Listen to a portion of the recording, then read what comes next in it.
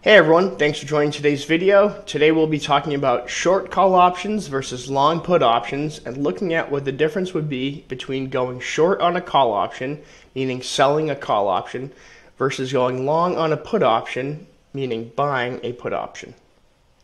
This is going to be an introductory video as part of a series aimed at helping you understand some of the basics and foundational terminology you'll need to know as you get comfortable learning about, talking about, and eventually trading option strategies. We'll be looking at the difference between buying, also known as going long, and selling, also known as going short, as well as the difference between call options and put options. So I have the SPY ETF pulled up in Thinkorswim. This is the one year, one day chart, as well as some indicators down here.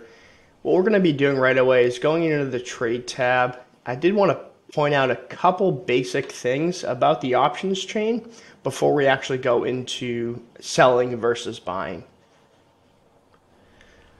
So for today's example, we're going to be pulling up the 7 day to expiration SPY option chain for January 2nd, 2024.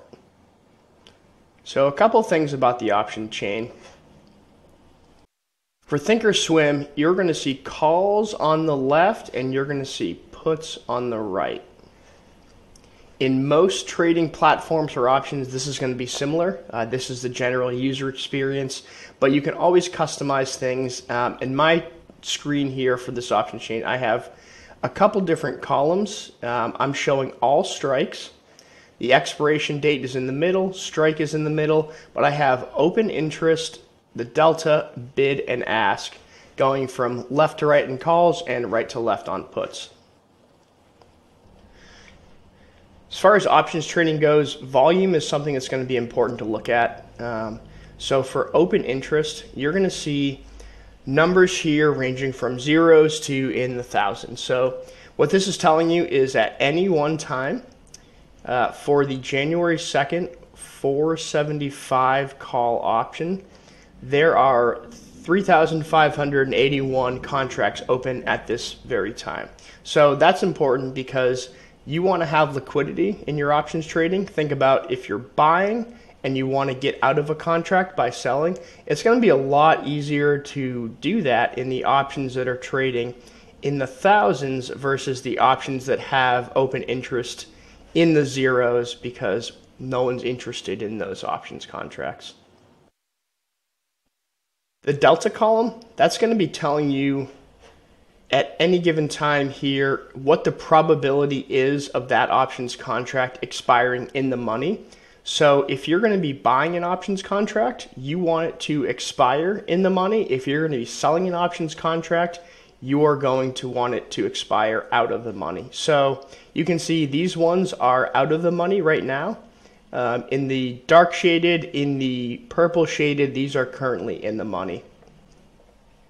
So just to point out one example here, if I were to be looking at the 29 Delta, this is 479 strikes January 2nd.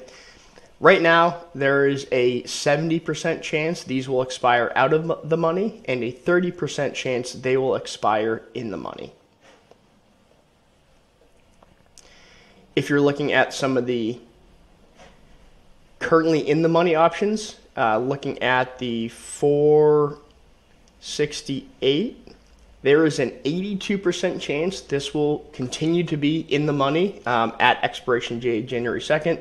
Conversely, an 18% chance this will fall out of the money before uh, the January 2nd expiration date. Bid and ask. Um, if you're clicking on an ask, that is going to bring up a single buy contract. And if you're looking at the bid, clicking on that, bid is equated to selling that options contract. And the difference between the bid the bid price and the ask price is sometimes called the bid ask spread. We want to be looking at options with a tight bid ask spread so that we're not giving up any of that value back to the market. So let's look at two different trade setups that both have a, the same bias on the market, a bearish bias, but can be executed in two different ways with two different risk profiles. These two strategies, short call versus long put, or selling a call versus buying a put. So we're looking at SPY here to, for the uh, January 2nd, 2024 expiration, seven days expiration. Let's look at two comparable options here. So to do that, we're going to look for a put option and a call option with the same delta. So looking on the put side on the right, you see one here with 0.29. Let's see if we can find one on the call option. Yeah, 0.30. So 30 delta and 29 delta, that's close enough. These are the two options we're going to look at for this one. So on the call side, a short call would have that bearish bias. Let's look at that. That would be selling the call, 479 strike, 30 delta. So let's take a look and see what that would look like. So Maximum loss here, if SPY gets out of control and falls down to zero, that could be infinite. Or, or go, sorry, uh, in this situation, goes up uh, infinitely as it could. That's a big max loss. Max profit, that's going to be the premium that you collect as the premium seller. So think about acting as the insurance agency selling or collecting the premium that is what you can take away as a profit but if something unexpected or unlikely happens, you could be out quite a bit of money. So let's analyze this trade real quick. Looking at the y-axis, this is your profit and loss in the thousands. Uh, x-axis here is going to be the strike price. This price slice is going to be your break even, which is at 477. So having your bearish bias you want the security, in this case SPY, to fall or stay below 477. Currently, in the situation is trading over just 475. So you see this teal line following along the x-axis. That's your maximum gain and also your, your maximum loss here. As we talked about, SPY could rise infinitely and your loss could fall infinitely. So I'll come back to this in just a second. But let's compare another option here with the same bearish bias. This would be buying a put with 30 delta 472 strike for SPY January 2nd, 2024. Oops. See, on this trade, your max profit, well, it's not infinite, but that's quite a bit more than you know what your max loss is here 119 that's the premium you're paying and your max profit has the high upside on this one. So let's actually go over to analyze. And it's you know if you look at this this risk profile versus the last one here you know it's really just kind of the inverse of that where you have a